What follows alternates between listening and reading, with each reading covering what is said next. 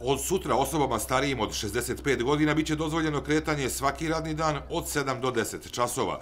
Sa radom počinju šalter sale i matične službe u jedinicama lokalne samouprave i to u periodu od 7 do 15 časova. Rad će biti omogućen kuhinjama i dostavi hrane i pića iz ugostiteljskih objekata, kao i šalterska prodaja hrane i pića bez mogućnosti konzumiranja unutar i ispred ovih objekata. Od sutra od 7 do 19 časova počinju raditi uslužne radnje kao što su autopraonice, vulkanizeri, automehaničarske radnje, praonice tepiha i hemijske čistionice. Također se dozvoljava rad trgovinama informatičke opreme, salonima namještaja, muzejima, bibliotekama i drugim zanatsko-preduzetničkim radnjama. Od 1. maja počinju raditi tržni centri u kojima će i dalje biti zabranjen rad igraonica, kafića, restorana i bioskopa. Također od 1. maja od 6 do 13 časova počinju raditi istočne pijace. U bolnicama i domovima zdravlja, specijalističke i subspecijalističke ambulante radit će sa 50% kapaciteta.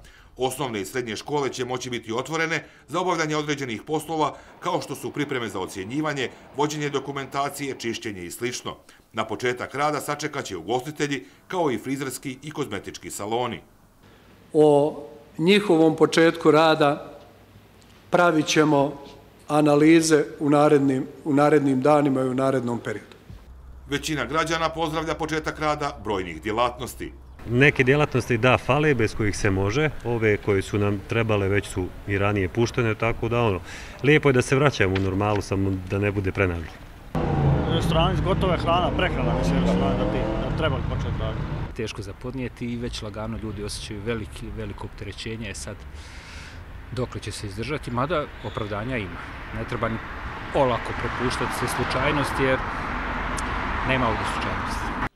Gradske vlasti u Banja Luci ističu da su upravo one inicirale da se omogući početak rada većine zanatskih i uslužnih radnji, ali i da određene zabrane i dalje ostanu na snazi. Ostaju da važe mjere kad je u pitanju javno okupljanje na tradicionalnim izletištima na teritoriji grada Banja Luka. Javni prijevoz i dalje znači, ostaje samo za organizovane ovaj, djelatnosti i uh, ovaj, ostaje ona naredba koja se tiče znači, uspostavljanja gradskih karantina na teritoriji grada Banja Luka. Republički štab za vanredne situacije nije danas donio odluku o pooštravanju mjera zabrane kretanja za 1. maj. Istaknuto je da se neće slediti primjer Srbije, koja je na 72 sata u potpunosti zabranila kretanje, ali i da se sasvim sigurno može očekivati proširivanje policijskog časa tokom prvomajskih praznika.